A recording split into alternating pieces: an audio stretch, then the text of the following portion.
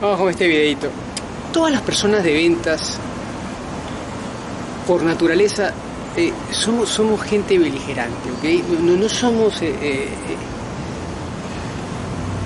pancitos, pancitos de Dios, ¿ok? No somos gente mansita, somos gente beligerante, ¿ok?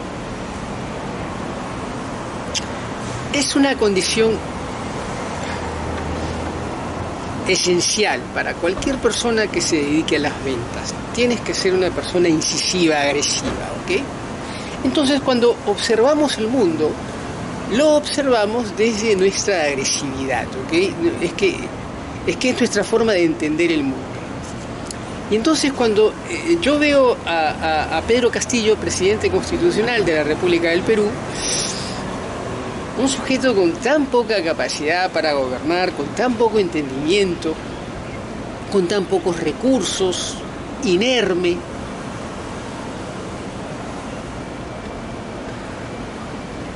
inocuo.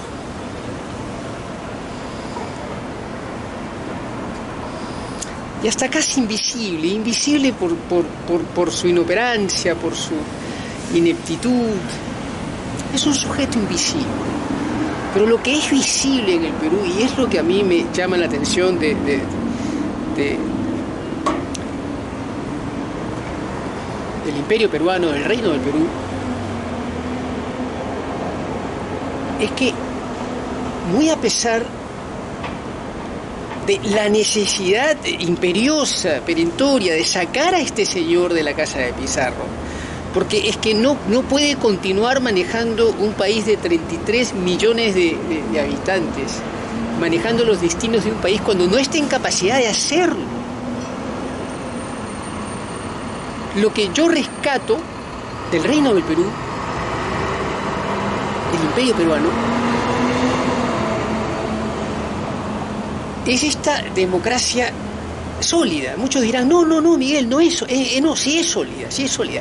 Porque en ventas, cuando tenemos que tomar una decisión de ventas, es que no lo dudamos. Si tiene, si tiene que salir alguien, sale. Si hay que remover a alguien de un cargo, se le remueve y se acabó. Se le explica las circunstancias y las razones por las que está siendo removido, obviamente, por una cuestión legal, y se le remueve y se acabó porque los objetivos de la compañía eh, están por encima de las necesidades de, los empleados. Es así, lamentablemente es así. A, quien no le guste mala suerte, ¿ok? Es así. Así es en Estados Unidos, por lo menos. Y esto lo puedo traspolar al, gobierno peruano. Y entonces,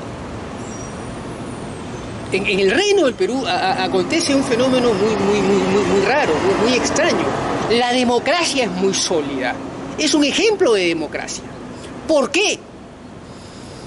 Porque ante la fragilidad de este señor, ante la poquedad, la nimiedad de este señor, Pedro Castillo me refiero, nadie se lo puede tirar abajo, no porque este señor sea capaz, no porque este señor sea fuerte, no porque este eh, señor venga preunido de todo un circuito de gente fuerte que lo acompañe, no, cada uno es peor que el otro cada uno es peor que otro. Ahí están los Pachecos, están los Silvas, están los, los, los Villaverde, están las Karelin López. Ahí ve gente asquerosa, asquerosa, asquerosa que lo acompaña. Este señor Aníbal, Aníbal Torres. Es gente sucia, gente muy sucia la que lo acompaña. Pero es la democracia del Perú, el reino del Perú, es un, es un país demócrata es un reino demócrata. Que no permite que teniendo al animal que tienen en la casa de Pizarro, se lo pueda destituir, porque existe un Estado de Derecho, el rule of law, que no permite que se pueda transgredir la democracia, la constitución. Es un país ceñido a la constitución. Y eso es importante, por eso el Perú no, no es Nicaragua, por eso eh, el reino del Perú no es Venezuela, por eso el imperio peruano no es Cuba. Por eso hace al Perú un país diferente, de ahí la fortaleza de su economía, De ahí las perspectivas que tiene el reino del Perú hacia adelante. Es un país rico, pero está también la riqueza de ese respeto a la constitución. Lo que hizo grande América, América es grande porque han respetado una constitución por doscientos y pico años. 250, no sé cuánto, cuánto tiempo irá. 1776, saquen ustedes la cuenta. Y entonces muchos les reprochan a, al gobierno peruano, ¿por qué no te vas? ¿Por qué no te vas? Pero nadie, nadie, nadie repara en, la fortaleza del Perú como nación, que busca una salida, ¿cómo lo sacamos a este? Pero es que no, no, no encontramos el conducto. Porque, porque, porque si no estaríamos metiendo un golpe de Estado. Y entonces hay que rescatar la parte positiva. El reino del Perú, el imperio peruano, respeta su constitución. Por eso es que no se saca este animal de la casa de Pizarro. Este señor está, se los dije y se los anticipé, está completamente perdido en el universo sideral. Y solamente iba a ejecutar lo que conocía, corrupción, porque no conoce otra cosa. El derecho de robar porque habían estado 110 años en, una, en un estadio de observancia y lo que iban a hacer iba a ser lo mismo. Y ahí está este señor Juan Silva. Este, este señor es un, es, es, un delincuente de, de celda, es un delincuente de celda. Es decir, comete delitos dentro de la celda. Pero hay que rescatar la parte positiva. Se respeta el Estado de Derecho, se respeta la Constitución. Es importante, eso es muy importante, a diferencia de otros países. Se respeta la Constitución. Se quiere remover a este señor desde la Constitución. Y, después está el Congreso, que están ahí apiñados, atornillados a un cargo público en aras de ser remunerados cada 30 días, cada 15 días, no sé cómo se paga el Congreso. Lo cual es una vergüenza, porque eres elegido para, para, para defender a tu, al, pueblo, para defender a tu país. Y, lo único que haces en realidad es buscar tus beneficios tu beneficio personal para ti para tu familia. Y entonces, ¿qué mierda hacen ahí? Si tendrían que buscar la forma constitucional de, de remover a este señor pero se respeta, se respeta la democracia. No es que este señor sea fuerte, no es que Castillo en realidad tiene ciertas virtudes, no tiene nada, no tiene absolutamente nada, es que el peruano respeta su constitución, la respeta.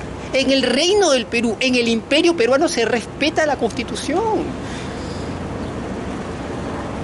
Le joda a quien le joda, no importa, se respeta la constitución. Por eso es que lo tienen a este señor ahí, porque se respeta la constitución. Las mismas Fuerzas Armadas están respetando la constitución.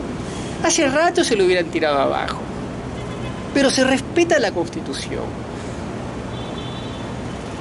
Ahí está la diferencia con otros países. Nos observan desde Nicaragua, desde, Cuba, desde Venezuela, puta madre. Hace tiempo que nos hubiéramos tirado abajo a un señor que da cuenta del hermano Quito, del hermano Bogotá, del hermano Santiago, del hermano Sao Paulo, del hermano La Paz, del hermano Asunción, del hermano Montevideo, de la hermanita Buenos Aires. Pero hace rato, hace rato. No es que este señor tenga con qué y entonces se defiende y tenía unas mañas escondidas. No, no, no tiene un carajo. Es, es, es el respeto al Estado de Derecho del rule of law. Es el respeto, es el respeto lo que lo mantiene ahí.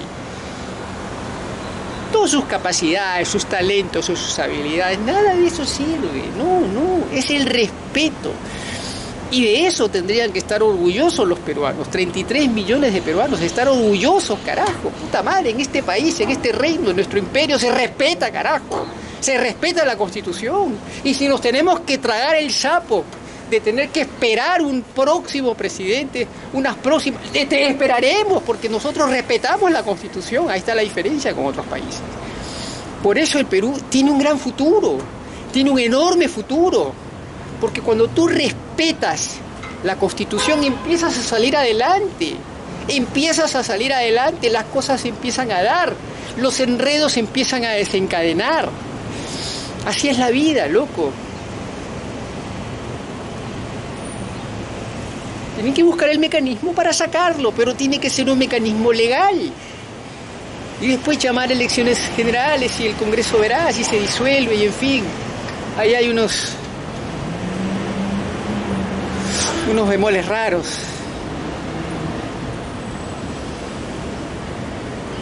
Pero tiene solución. Y el Perú tiene futuro. El reino del Perú tiene futuro.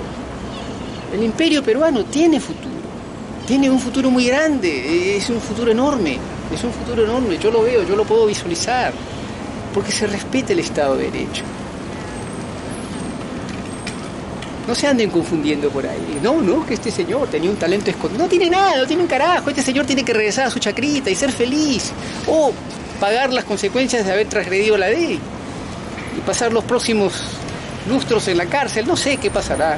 No importa pero tiene que ser removido, pero constitucionalmente. No se le puede eh, remover de una bofetada. Eso no existe, eso no existe más. Porque es volver a lo mismo. Es darle la posta a otro para que haga lo mismo. Y este otro se la dará a otro. Y el otro a otro, y a otro, y a otro. Y no vas a recibir una medalla olímpica porque no vas a llegar a la meta. No hay nada para ti. Ahí lo dejo. Yo soy Miguel. El Mar de Grau, presente. Arriba, siempre arriba. José Quiñones. Viva el Perú, carajo, mierda.